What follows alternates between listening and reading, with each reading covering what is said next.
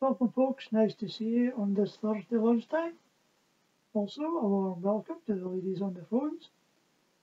As usual, the words for today are in the description box below. And if you want to contact us, Ian's details are there also.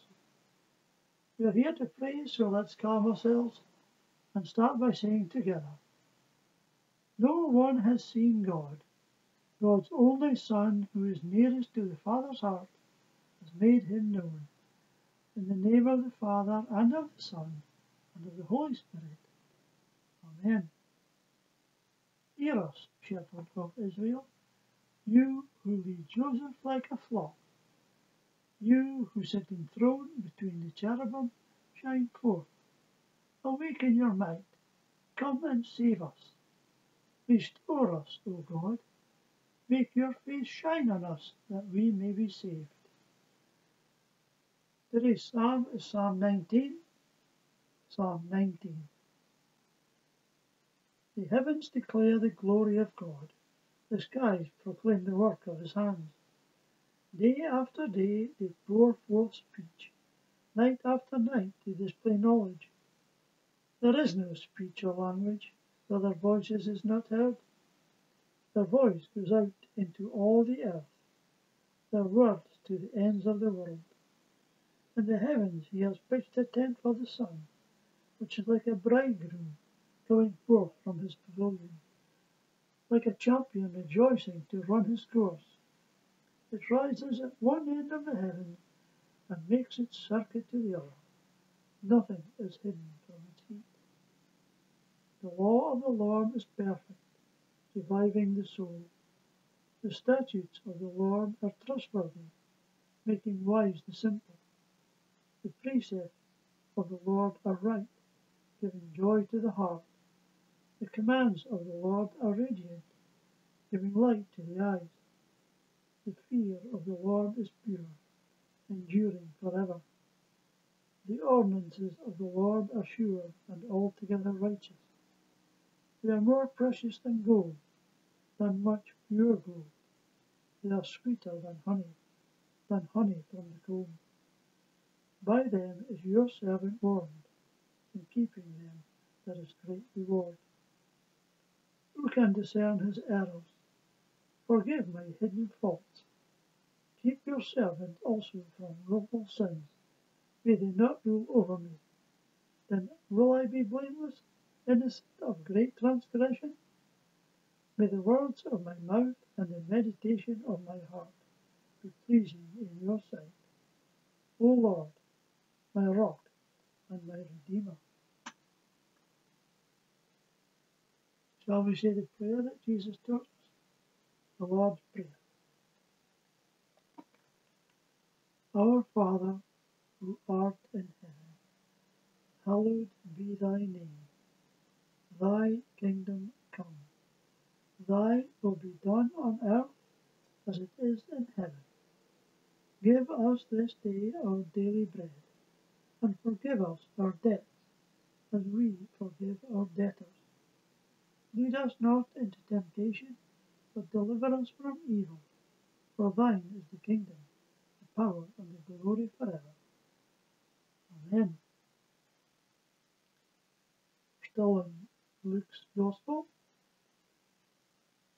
we're reading chapter 12, verses 32 to 34. Do not be afraid, little flock, for your Father has been pleased to give you the kingdom. Sell your possessions and give to the poor. Provide purses for yourselves that will not wear out, a treasure in heaven that will not be exhausted, where no thief comes near and no moth destroys. For where your heart is, there your heart will be also. Shall we pray together? God, our hope, we rejoice that you became flesh and made your dwelling among us, and we long for your return. As we wait for your coming again, and for the end of sorrow, pain, and death, we are bold to ask in the name of Jesus for your kingdom to be made known among us now. Lead us by the groaning of your Spirit to pray for ourselves and our suffering Lord. We'll now have a time of silent prayer where you can pray for the things which are on your heart. We pray in silence.